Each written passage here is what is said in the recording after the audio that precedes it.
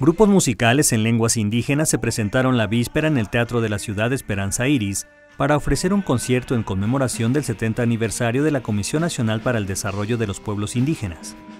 Recital que celebró también el Día Internacional de la Lengua Materna, Vuelo Sonoro, un proyecto caracterizado por géneros musicales como el rock, ska, reggae, rap hip hop norteño, fusión entre otros,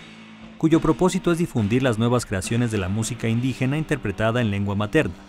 La Comisión Nacional para el Desarrollo de los Pueblos Indígenas, particularmente en la fonoteca Enriqueta Yurchenko, ha documentado desde hace varios años las nuevas expresiones sonoras de los pueblos indígenas, además de las tradicionales y estas nuevas expresiones,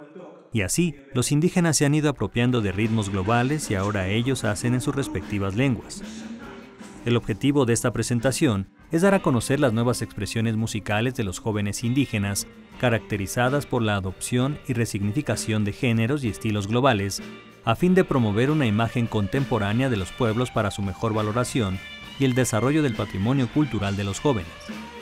El Día Internacional de la Lengua Materna tiene lugar el 21 de febrero, una fecha establecida por la Organización de las Naciones Unidas para la Educación, la Ciencia y la Cultura desde 1999 para promover la diversidad cultural y lingüística del mundo.